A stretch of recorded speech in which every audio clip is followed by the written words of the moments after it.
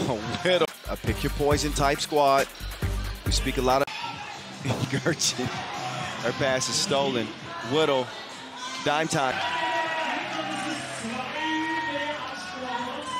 Oh, Whittle. She is playing Rena Whittle because she is the star of this Gangurru group. And when you got shots like that, then Whittle. Anneli Maley somehow keeps it alive. Mansfield. Some Egyptian teams in the past that have been here that have tried to compete, but you guys are actually really, really competitive. She said, hey, we've been working hard. We got to, you know, surrounding her and making every shot difficult. And I, I even misspoke. She's she's actually last on the team. Look at this. they couldn't stop her with the National Guard. This woman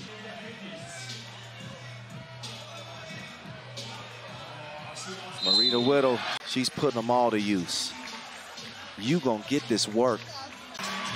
Thanks, I Bogdan. give, him, I give him several different titles. He always says, I'm not this or I'm not that. That was a quick turn.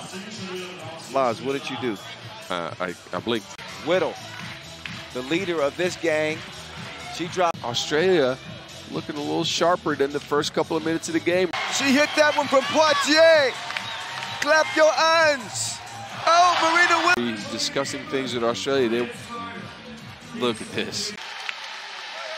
15 to 12 is the result.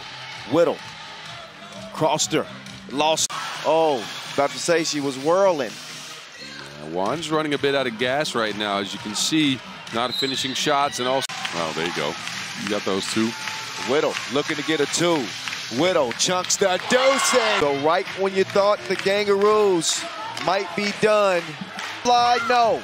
Anneli Maley up top. Marena Whittle with a jab step of. They called this, but the ball clearly, in my vision, touched the rim.